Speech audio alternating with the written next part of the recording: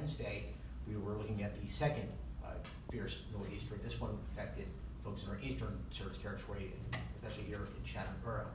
The ben- the benefit of that second storm was, by that time, we had had a full complement of JCP&L uh, crews from our other service territories, contractor crews, and outside crews from other states that were in our service territory ready to respond. All total, the storm took out, the two storms took out five hundred and twenty-nine thousand customers in our service territory. One thousand seven hundred and nineteen roads were closed from fallen wires and fallen trees uh, onto our equipment. Seven hundred and sixty-five poles were broken from fallen trees.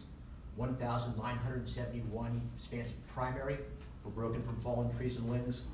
One thousand two hundred and forty-one spans of secondary were broken from fallen trees and limbs. Five thousand six hundred and thirty-one separate tree locations as a result of this storm. Those were trees that fell into our equipment and took power out to our customers. Look, I know we've come to a lot of criticism for the response to this storm and the uh, status of our equipment. We have spent in the last five years since Sandy over three billion dollars in infrastructure investment in our uh, system. During the previous storms, the response was largest customers first, smallest customers, and the roads got opened as we went along. That has completely changed post-Sandy. So our storm restoration process and priorities following a major event are first, hazard life and limb calls. Uh, If there's somebody stuck in a car with a wire on it, we do anything we can to get to that customer immediately.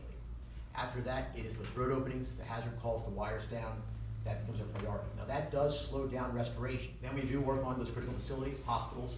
If you want the best reliability, buy a house next to a hospital. Um, Schools, um, municipal buildings, shelters, all those things come down. After that is the, the smaller customers, and then of course those service connections which are the last to get done. First day storm, the the predictions did not materialize until about twelve hours before.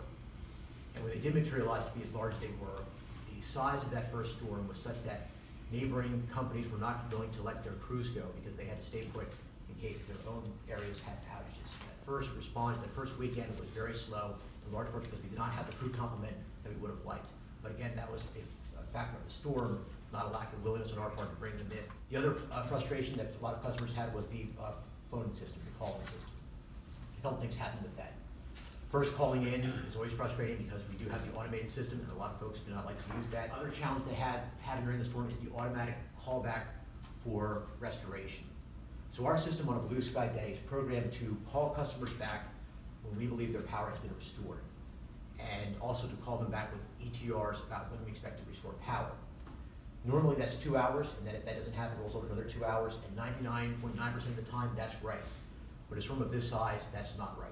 So customers believe one of two things, either that we were out of our mind, the power coming back in two hours, or that it was simply, um, uh, they ultimately believed us, and they got frustrated when it didn't happen. That was a simple toggle that we didn't turn off, we need to do better on that the next time. The other thing that frustrated customers a lot this storm was our outage map. In part because a lot of folks were looking at that outage map for the first time. If you looked at our outage map, you'll know there's a dot that represents an outage. And that dot, depending on its color, represents a certain number of customers, 100, 500, 1,000 customers. Customers would look at the outage map and looking at their neighborhood, their street, and not see a dot.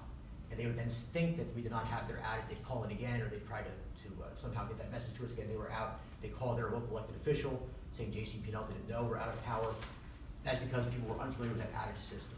And frankly, if you're not familiar with it, that map can be confusing, especially in the panic of a storm event. Um, It caused a lot of frustration with our customers. The biggest challenge for us, though, was the trees. Trees, trees, trees. Five thousand six hundred nineteen trees fell onto our equipment, onto our wires, knocking down our poles, knocking down um, our, our stuff. Um, We like a more uh, liberal um, tree trimming standard. Um, We'd like to be able to trim more trees, but again, we're confined to our limitations based upon tariff and what we're permitted to by the state. No trees, a very, very different storm.